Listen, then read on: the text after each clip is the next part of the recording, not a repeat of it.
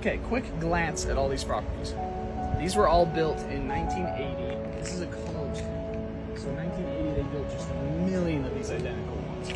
Now, my goal was to own this whole street when I first started. This is probably the most important lesson out of everything I talk about in all the different properties I'm showing you. I forgot how many years ago it was, but this was my first investment property.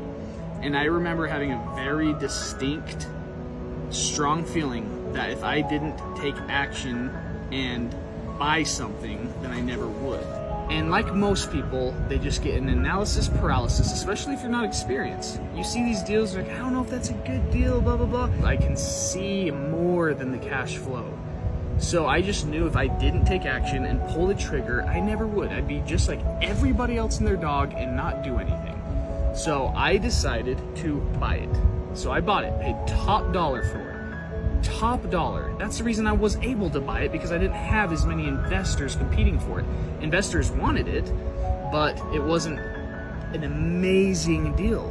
But I was ready, I had the money, down payment, let's do it. Done. I was easy, quick as a whistle, done. Now let's go take a look inside.